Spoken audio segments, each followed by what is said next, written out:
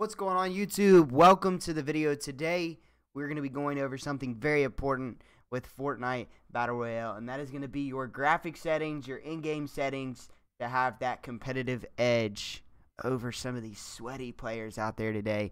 First thing that we're going to dive into is your NVIDIA NVIDIA NVIDIA control panel.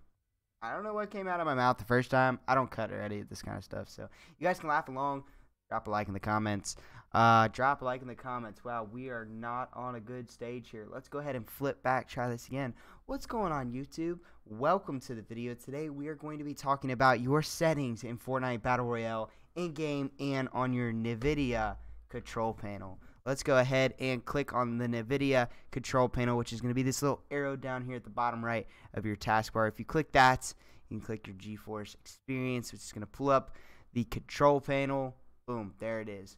What we're going to do first is go to Manage 3D Settings. Once you're in Manage 3D Settings, you're going to go to Program Settings. Once you click on Program Settings, you're going to see some games on here. We have Fortnite selected, and this is going to be our options. So the ones that I changed was your maximum pre-rendered frames needs to be set to 1. Your power management mode needs to be prefer maximum performance texture filtering anisotropic needs to be on. Your texture filtering quality needs to be performance.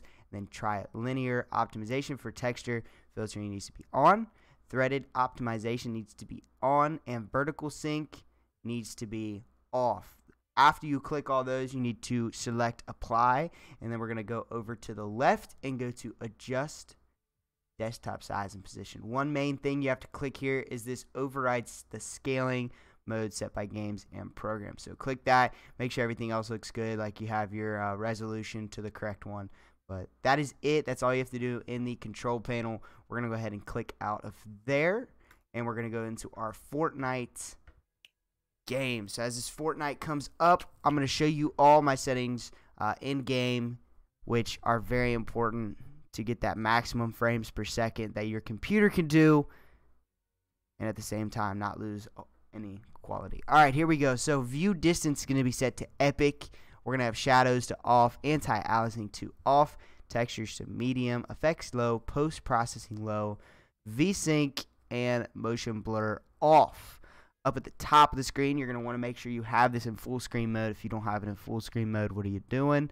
Display resolution, set that to your resolution for your um, uh, monitor. I don't know why I couldn't think of the name. And then frame rate limit needs to be set to unlimited. Quality, don't select any of those because it pre-selects the little tabs underneath. And then 3D resolution, very important that we keep that at 100%. Um, and that's it. So that's really all you have to do. You don't have to restart your game or anything.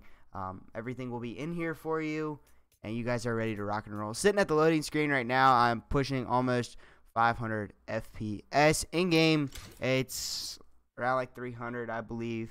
Um, and and that's it. And you really do notice the the smoothness of the gameplay.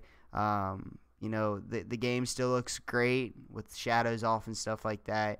So I, I am happy. I came across the video or I looked it up online how to do this, so I was bringing it to you guys. Hopefully, you do enjoy and you get something out of this that you didn't already know that's going to do it. If you guys want to follow me here on YouTube, just click that red subscribe button. You can see all my videos. I do live stream pretty much every day, sometimes every other day, stream of Fortnite, trying to get better on this grind. We're playing the solo gauntlet event today, so if you guys want to check me out, make sure you stop by the live stream.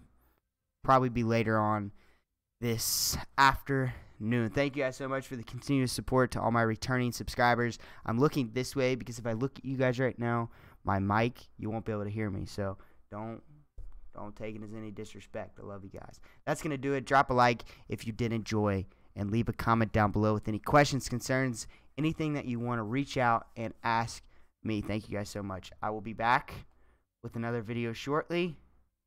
Peace.